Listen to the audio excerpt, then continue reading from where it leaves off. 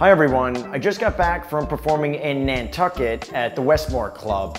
It was my 10th year performing there. The place is incredible. I fly out tomorrow to perform for the Texas Tech football team and soccer team. I am psyched. You want to know the real secrets about being a street magician? You want to know if you're ready to go out and perform street magic? Stick around, I'm going to discuss this in detail. If you like my videos, hit the subscribe and the bell next to it so you don't miss a thing.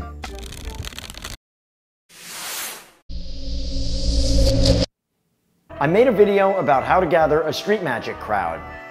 We went out in Midtown Manhattan with two cameras and filmed from beginning to end me building a crowd and performing for them. I performed for about 20 minutes. If you want to check out the video, I'm putting a link at the end. I had a really interesting comment from one of my watchers, Mr. Street Show Keith. He asked, what did you make on the hat?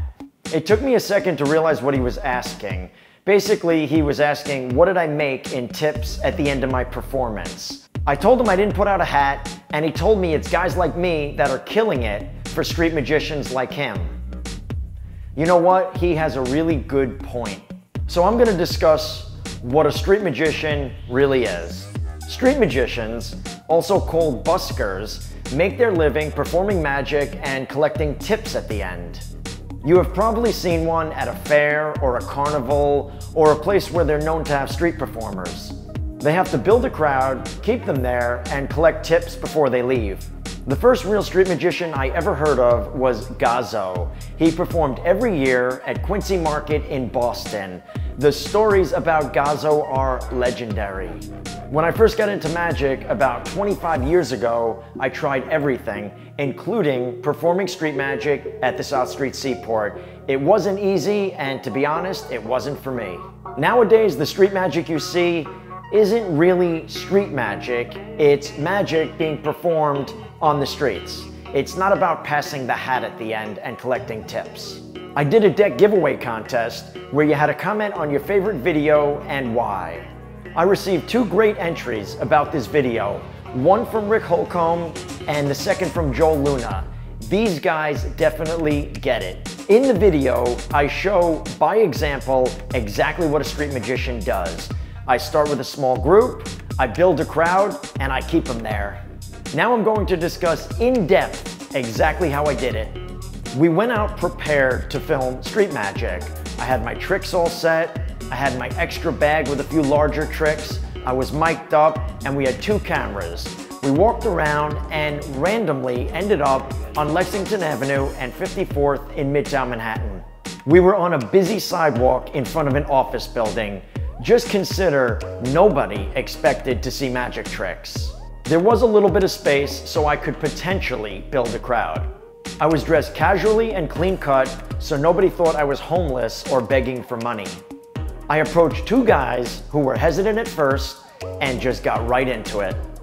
I hit them over and over again with strong magic tricks and I stayed in it. I also acknowledged people passing by and invited them to come in and check it out. I made sure that my tricks got bigger as my crowd got bigger, and I kept the pace up. There was no dead time. All right, everyone. You want to know the real secret, the big secret of how I kept them there, how I really did it? I made them want to stay. I didn't ask them, I didn't try to convince them, I was doing strong magic, amazing magic that they wanted to see and wanted to stay and watch. So how do you know if you're ready to go out and perform street magic? All right, let me break this down. Pick a cool trick, something that's practical, easy to do at the level you're at, something you will perform in your real life. Learn and practice that trick until you can do it flawlessly. This is alone time. And when you have mastered the trick and you're comfortable performing it, go out and do it for somebody. Show your brother, your sister, your mom, your dad, your friends. Show it to them a bunch of times.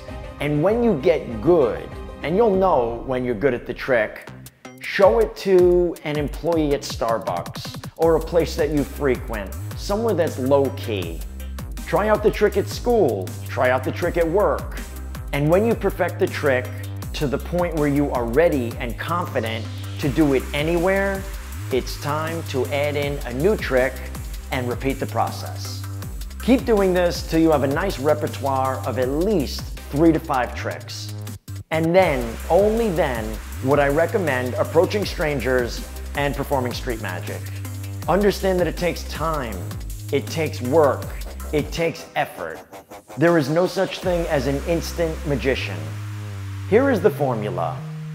Practice, practice, practice, practice, performance.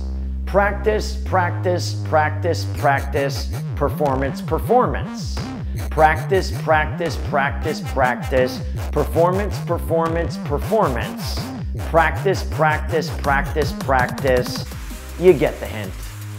I enjoy practicing and I am totally results driven.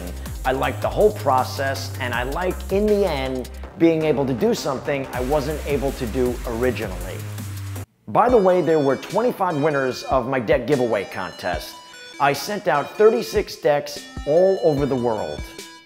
The US, Canada, Germany, India, Budapest. It's really nice knowing I have subscribers all over the world. Just a note, two of the winners never sent me their address. If you'd like to receive your decks, make sure to contact me. Let me know what you think about Street Magic. Leave me a comment. I respond to every single one of them. Make sure to click on that red subscribe and watch more mind-blowing magic.